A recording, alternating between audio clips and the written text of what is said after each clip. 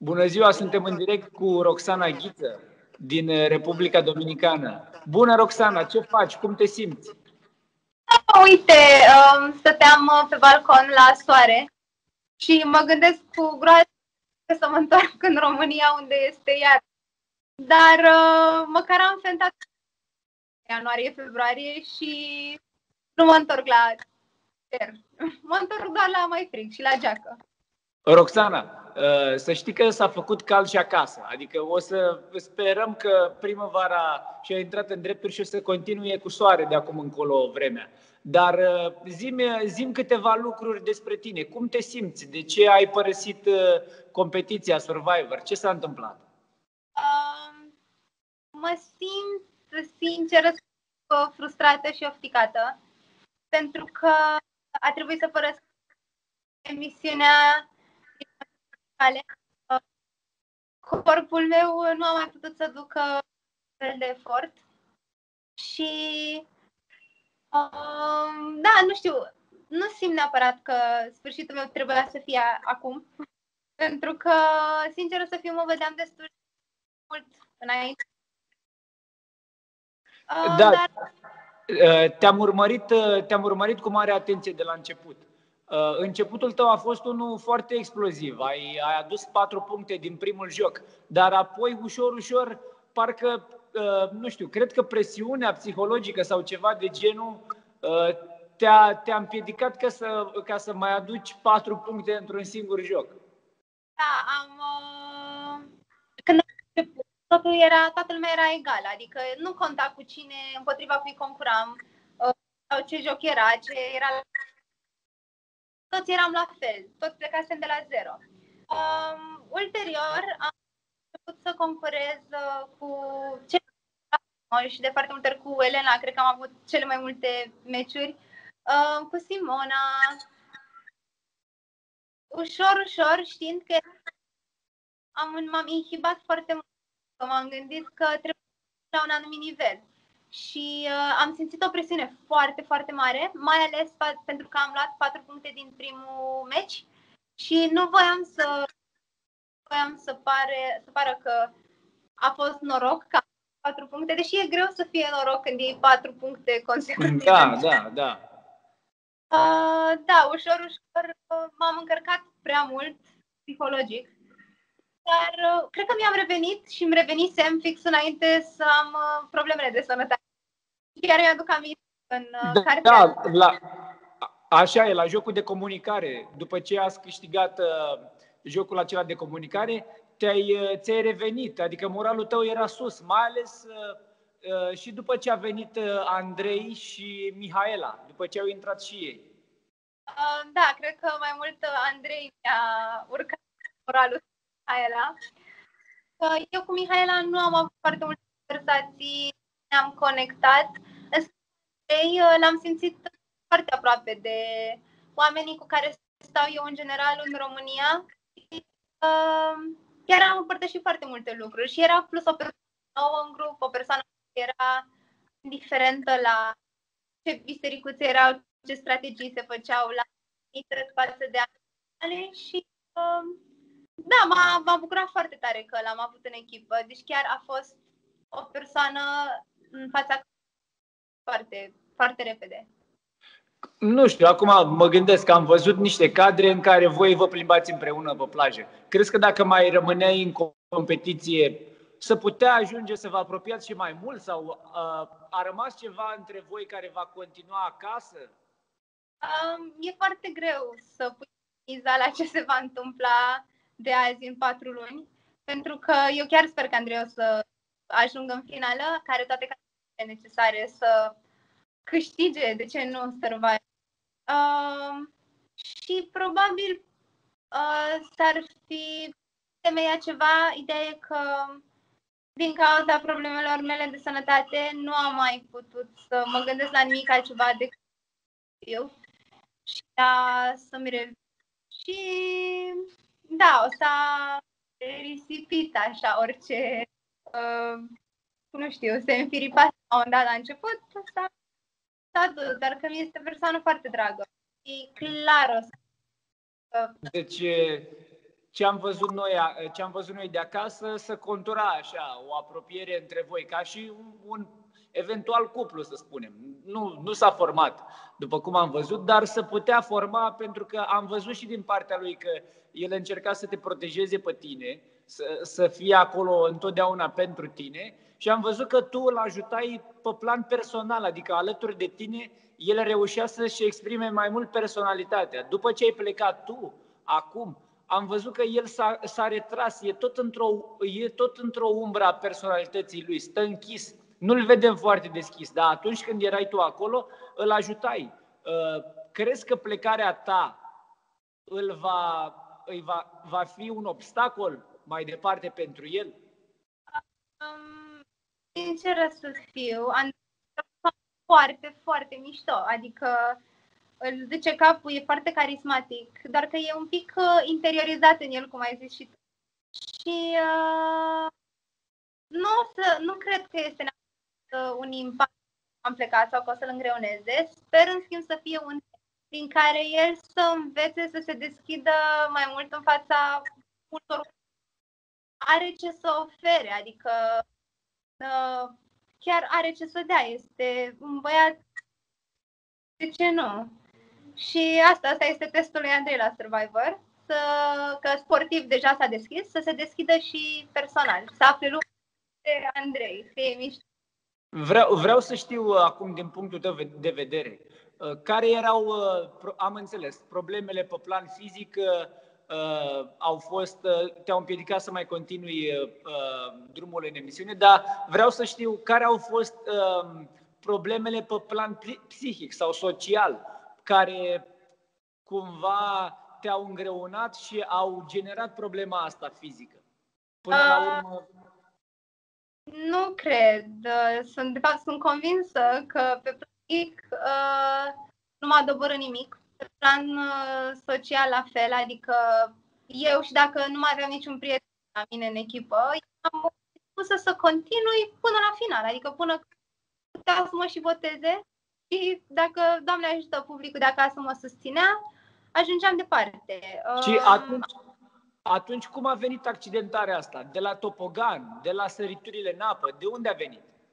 Cred că pentru că, um, din nou, avem uh, o nutriție foarte scăzută, corpul meu s-a a slăbit foarte mult și la topogan, uh, eu am fost, cred că prima fată care a alergat pe topogan, uh, s-a unat în piscină și când a aruncat pe burtă, cred că am făcut Adică, sigur, acolo s-a întâmplat. Și uh, am tras să uh, continui să joc, pentru că eu chiar mi-am dorit mult de continui, adică nu, care nu să mă gândesc că nu s-a încheiat. Uh, am mai intrat la un joc cu noroi după, unde mi-aduc aminte că, nu știu, am zburat la început, Cred că am terminat și traseul prima, nu sunt sigură, ideea e că mi s-au împărțit picioare noroi și a trebuit afară și să-mi la nivelul ăla mea m-a rupt, sinceră să fiu. Nu știu cum am uh, terminat, știu că am și dat, probabil din cauza adrenalinei, doar că ăla a fost traseul care eu am simțit că mi-a pus capăt fizic. Ăla cu noroi, zici? Ăla cu noroi, da. Nu, a fost o durere, eu am crezut că mă rup. Deci mi-aduc aminte, Maria zicea de pe mine că țipa doar, bă, nu cred, nu cred, pentru că am, am început să alerg instant, m-a suflat din fluie. Am dus glonț până când favorit. Dar e în regulă. Are un drum. Mă bucur că ești pozitivă și că uh, reușești să mergi cu zâmbetul pe buze mai departe, chiar dacă ai plecat din emisiune uh, nefiind eliminată de către public. Ai, ai, au fost alte cauze care uh, te-au eliminat din competiție, dar uh, uite, nu știu, a, a, mai mulți concurenți și-au exprimat uh, um, durerea asta fizică. Și Jadora a, a spus că resimte dureri. L-am, l-am avut și pe Alin, care a părăsit competiția și sunt convins că sunt mult mai mulți alții care se abțin și nu, uite, și Simona a avut probleme, probleme foarte mari. Uh, cre, crezi că problemele astea au venit, din, au venit din faptul că v-ați aruncat prea tare sau uh, V-ați dorit prea tare cu orice preț să câștigați punctele și v-ați aruncat acolo cu ochii închiși? Da, în ceea ce eu nu am mai putut să deoarece a fost de lui care m-a scos. Dacă era după mine, duceam, aș fi... Uh, mi-am dorit. Ideea e că, da, le-am aruncat cu toții. Și cred că cei care și-au dorit cel mai tare, nu, a, dacă te juleai, nu simțeai absolut deci pe fiecare traseu eram plin de sânge pe picioare. Uh, da, am avut uh, probleme cu glezele, doar că nu am... Pentru că ai și suport, îți dorești, ești survivor până la urmă, adică nu ai venit în care te arunci pe pe totul e pe bune. Dar, Andrei, uh, cum, cum a fost, uh, cum a resimțit Andrei după primele trasee Survivor, competiția asta? Cum i s-a părut lui la început? Sinceră să fiu, din ce amintesc, um, cred că lui Andrei a părut, i s-au părut traseele ușoare, uh, mai ales uh, în afară de final, unde uneori se oftica care că nu le mai dădea. Este și înalt, are mâinile lungi. Uh, sunt ușoare finalurile, doar că cred că i s-au părut mai fiind așa de mâncat cum era când a ajuns, o să îi se pară din ce în ce mai greu. Uh, sper că sigur o să se obișnuiască. Și nici nouă nu ni se păreau grele până la urmă. Erau placă, era, era, e frumos. Eu nu ar veni toată te joci efectiv în serve. Nu ai de ce, n-ai ce să pierzi. E frumos. Ai avut acolo, în echipa ta, ai avut oameni cu care ai împărtășit o alianță? Nu știu, cu Sorin am văzut că ai fost foarte apropiată atunci când discutați problemele sociale din echipă. Am văzut că ai discutat și cu Alin și, și cu fete din echipa ta. Erai foarte activă pe planul ăsta social. Ai avut o alianță? Uh, la mine în echipă s-au format două bisericuțe distincte. Uh, una era mai spre final alcătuită din Musti, Melina, Sorin, să zic, ca protagoniști și cealaltă Alin, Albert și un, ulterior și Marilena. Uh, eu, sinceră să fiu, m-am înțeles cu toată pe toată perioada concurs. Uh, m-am înțeles în schimb mai bine cu anumite Marilena, adică Marilena cea mai bună prietenă la și chiar uh, am, uh, ne-am conectat pe foarte multe planuri. Uh, au fost persoane cu care m-am înțeles mai puțin, cum ar fi Musti. Uh, Dar uite, au... uh, la Musti, am văzut că și el, uh, nu știu, nu, nu i-am văzut uh, celelalte fețe, cum, cum spune toată lumea. Bine, cu toții au mai multe fețe acolo la un moment dat. Uneori ești supărat, alteori ești plictisit, uneori ți-e foame. Nu, uh, am văzut despre Musti că e și el un tip deschis și destul de uh, sociabil și își extinde integritatea. E un tip care își dorește binele și tu ești la fel, o tipă care își dorește binele. Dar de ce nu v-ați sincronizat? Ce s-a întâmplat între voi? Eu o să zic în continuare, Musti nu este rău intenționat. Musti este bine intenționat, dar că uh, toată dorința asta de a face bine colectiv uh, nu se mai gândește la ce au nevoie persoanele individual.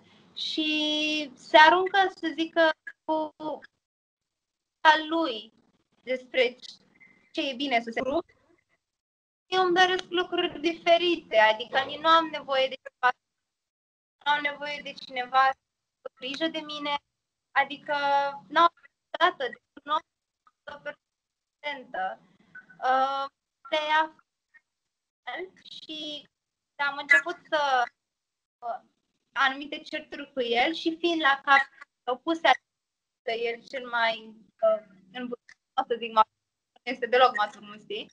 e foarte copiloros la, de ok, poate să aibă el aproape 40 de ani, este cea mai copiloroasă persoană pe care această emisiune. Și uh, da, se supăra matur și zicea că eu ar trebui să-i ofer lui respect. Ca niciodată moneda asta care ținea morțiși, o arunce așa la toți. Până la urmă, cumva, între voi, din ce văd eu, e un conflict între generații și idei.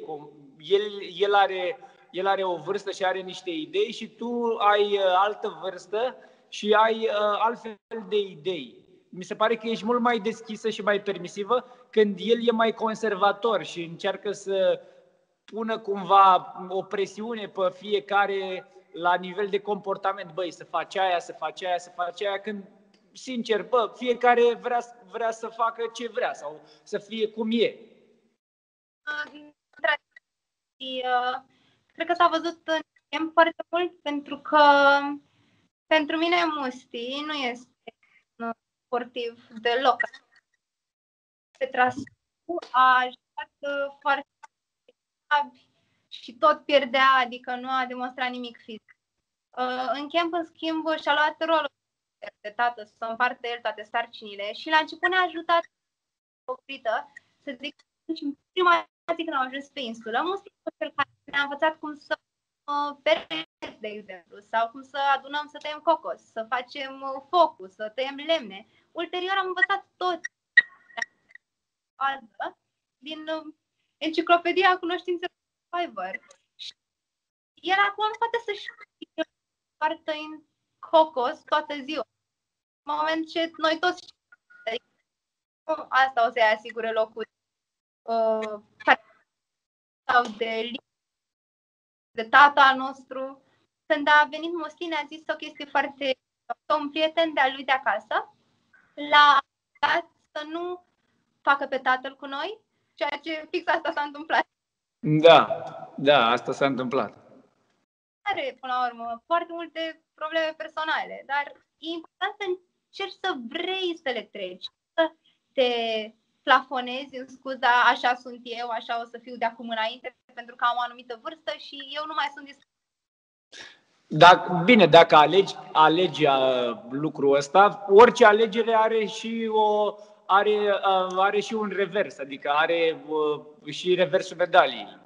Lucrurile pe care alegi să le faci se întorc asupra ta sub o altă formă. Acum, nu știi dacă va fi bine sau va fi rău. Pentru fiecare om știe în, în dreptul lui. Bă, eu știu că dacă fac asta, îmi face mie bine. Fiecare știe că e bine într-un fel. Uh, uite la ce subiect vreau, uh, spre ce subiect vreau să ne îndreptăm.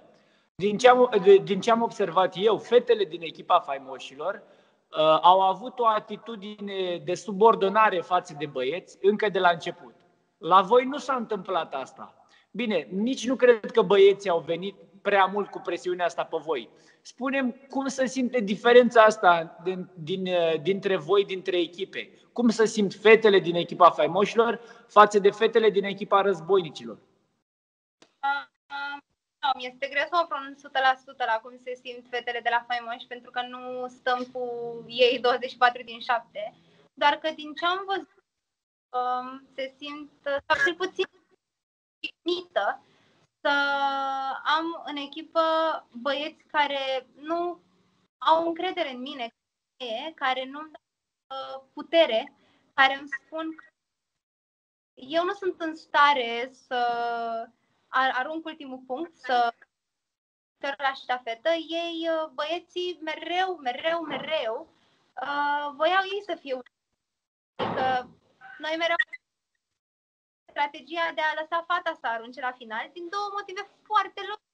Uh, fata uh, a final și are mai multe Da. Uh, este, are timp să se odihnească, să-și oxigeneze creierul. Și de fiecare dată când am aplicat succes, uh, băieții veneau la noi și făceau, îi pe băieți, spunându-le că sunt fetițe, că noi suntem mai bărbați decât ei, adică asta este mentalitatea misogină și uh, poate învechită, nu știu, mi-aș dori din tot sufletul să vadă oamenii de acasă chestia asta să o vadă ca pe un anti-exemplu, adică să știe, uite, uh, că e, e nu știu, comparație cum uh, suntem noi, între noi ca echipă, și probabil cum sunt faimoși. Adică și ne-a avut o grămadă de tensiuni, doar că uh, eu o să las orice la o parte și chiar o să-l felicit uh, într-un consiliu, a luat cuvântul și le-a zis băieților că bă, nu e ok să vă tratați uh, așa, că jigniți în continuu. Nu merită că niște fete incredibile, sunt toți oameni. Nu. Da, și de acolo au apărut problemele pentru fetele din echipa lor, din ce am văzut eu. De asta sunt și frustrările astea așa mari. Ele după fiecare punct să duc, și, să duc într-un colț și sunt supărate, ca și când așteaptă să fie consolate, așteaptă ca să vină băieții să le spună că lasă, că nu-i nimic, ă, lasă că e totul sub control și data viitoare va fi bine. Deci așteaptă cumva o consolare din partea lor pentru că ele sunt aflate în subordonarea lor. Nu se pot ridica singure pe planul ăsta mental. Și asta e, e greu. E o problemă mare. Și uh, le jignesc în continuu. Mi-aduc aminte la un joc, uh, nu mai știu cine juca, cineva de la noi contra Roxanei Nemeș. Și uh, meciul se terminase, noi câștigasem și băieții urlau la Nemeș să arunce în continuare, după au început să o înjure la circ. Fetele sunt în nanța lor cum ar veni, doar că băi, lor este băieții se cred prea și sincer eu văd problema asta la băieți. Din păcate le afectează fetele. Nu consider să se ridice singure, că nu au destule energie să-și bată cap cu masculi alfa și toate egourile de la sau da, dar în echipa războinicilor lucrul ăsta nu s-a întâmplat. Uh, sau au existat la început lucruri de genul ăsta, au încercat băieții să intre în chestia asta de să încerce să domine pe plan uh, social, să, să creeze o ierarhie. Noi uh, la noi am folosit foarte de obsesiv necul aepata. Uh, și noi n-am avut nicio problemă să trateze băieții pe noi fetele într-un anumit fel. Noi n-am avut nicio dramă între fete. Fetele de la noi din echipă au fost mereu destul de liniare. În schimb, băieții au avut drame de zi au, uh, nu știu, niște adolescente care se certau în pauză.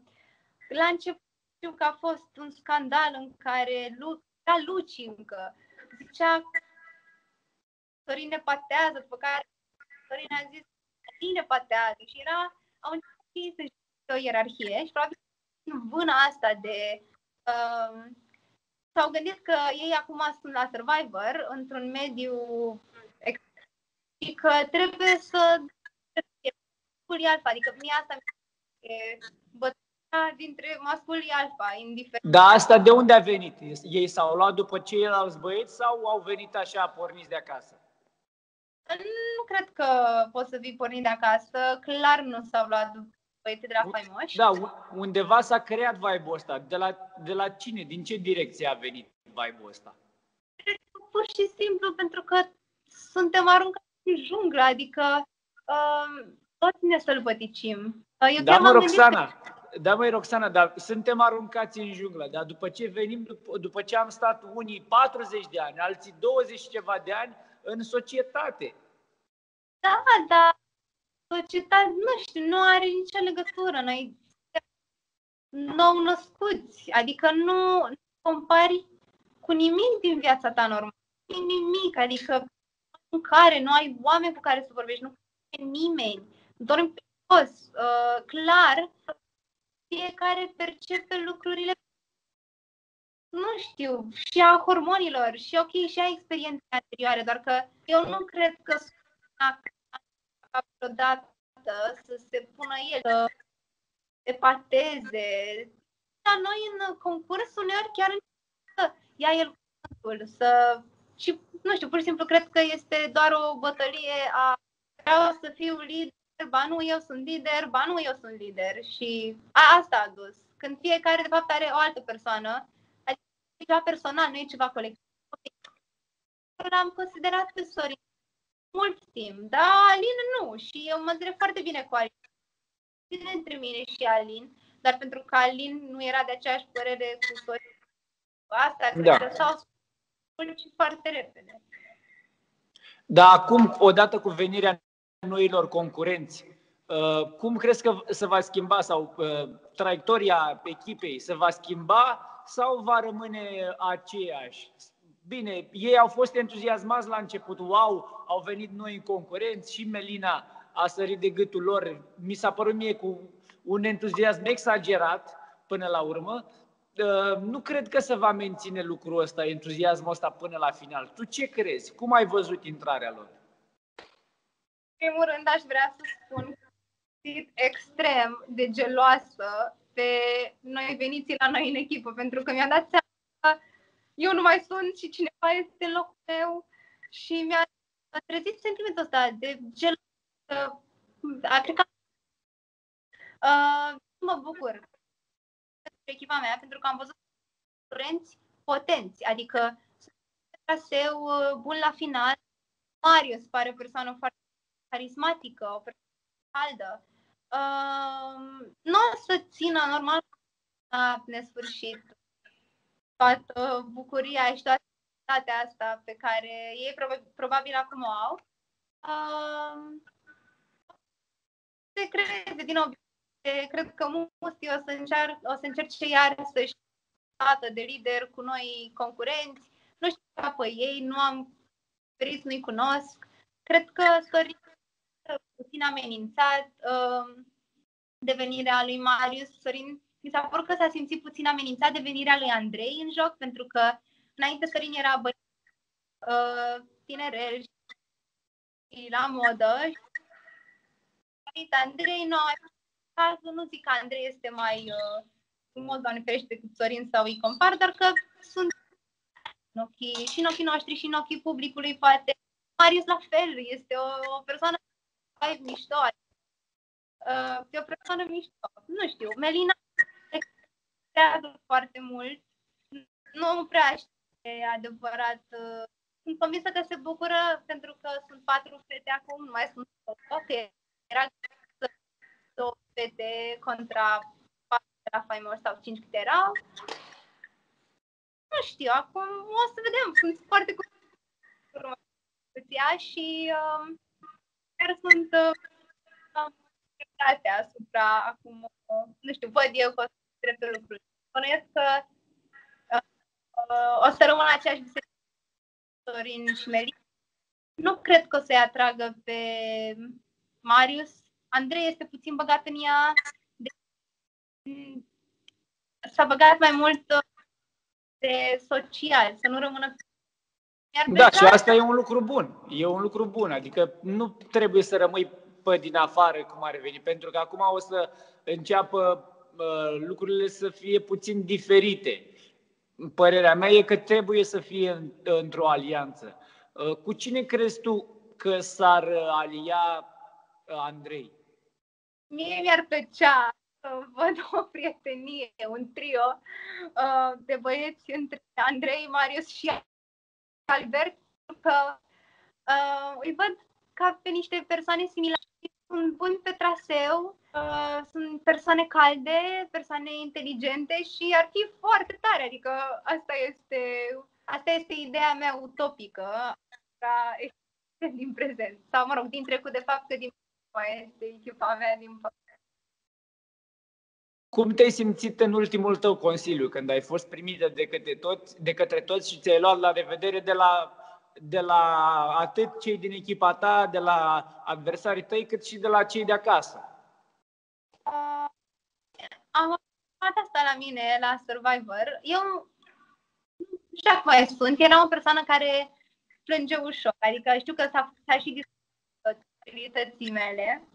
Ideea e că mereu când sunt șocată, nu pot să plâng și doar tremur, astfel încât eu tremurând toată și cu un zâmbet uh, de frică, de curiozitate, de cu toată viața. Adică uh, a fost foarte emoționant și că eu am luat pe fiecare în parte în braț și am spus că iubesc și că din tot sufletul meu, indiferent de ce tensiune am avut, adică eu nu pot să cred că am să am o echipă oameni care au și pe traseu ne-am văzut indiferent de ce se întâmpla în chem. Uh, de acasă, nu m-aș fi gândit în o mie de ani că o să voteze atâtea persoane, că o să atâția urmăritori pe Instagram. Este șocant, adică niște lucruri de care... Ai fost cea mai votată concurentă din echipa războinicilor. Ori, este șocant. Nu știu, nu știu de unde până unde au venit toate lucrurile astea și mă simt uh, fix blessed, nu știu. Simt că am, am un privilegiu incredibil. S-a oferit șansa. Și păcate s-a terminat și uh, nu sper, sper în schimb să mă duc la frumos, adică chiar mi-am dorit, mi-a și dorit cât mai mult, Doamne, dorit să nu din cauza că nu mă mai votează oamenii, că mă votează colegii afară, adică cal când tu poți, poți, ești adaptată, adaptată. Da. Am, vă, am văzut că atunci când ai plecat din Consiliu, nu ți-ai luat flacăra cu tine. Ceva din tine încă rămâne acolo, arde în Consiliul din Republica Dominicană?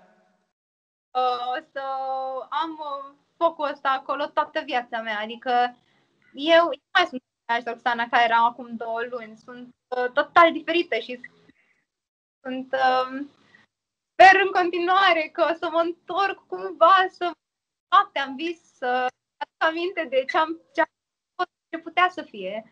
Dar, uh, da, uh, mă emoționez iar acum.